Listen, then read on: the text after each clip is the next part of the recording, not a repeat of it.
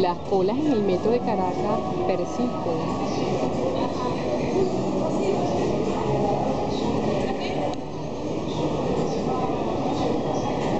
Para el Picasso, Griselda Acosta.